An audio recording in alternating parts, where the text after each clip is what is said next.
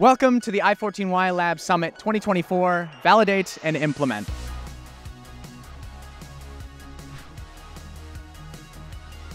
What are your expectations with Capgemini for today? Get lots of business, probably.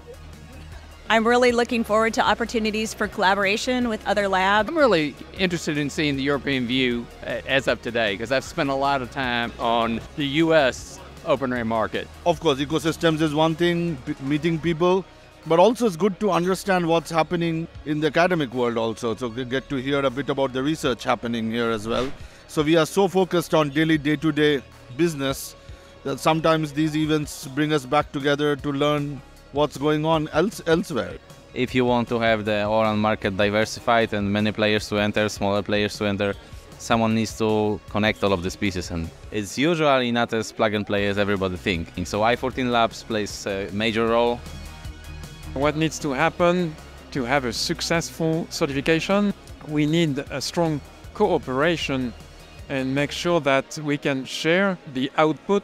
So first point is uh, how can we develop the certification to a level that people trust? Because then we would see sharing of resources, sharing of results. I think we need to define what certification is and how we use it, how we agree between the operators and vendors, how we accept some areas to be certified, and how we want to use it in our system. We need to work very closely with the operators, with the vendor. So we need to know the requirement from the operators, but we also need to know the capability from the vendors. If there is a gap there, how we can shorten the lab in order to help them to adopt the open RAN quickly. To make certification a success, I think uh, generally there needs to be buy-in across the industry, and most importantly, in my opinion, telecoms operators have to build it into their uh, procurement processes because without that, there won't be any incentive uh, to do certification. Cooperation, collaboration,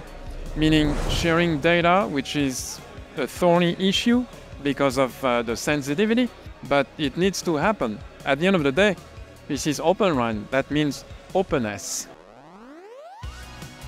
I think it is important that the operators come together instead of just having some certification process. Fantastic event. Uh, I enjoyed a lot of new impulses uh, out of the discussions. i14Y has, has had made giant leaps towards building a fantastic facility for the industry, but there's still, still clear that there's challenges that remain. It's only by working together, which we are, we're, we're, we're finding those problems, isolating them, and working to, to close the gaps and make sure that the industry succeeds.